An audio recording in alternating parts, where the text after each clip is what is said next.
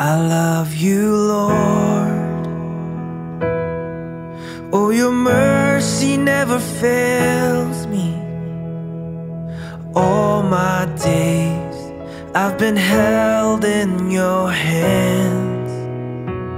From the moment that I wake up until I lay my head, oh, I will sing of the goodness of God.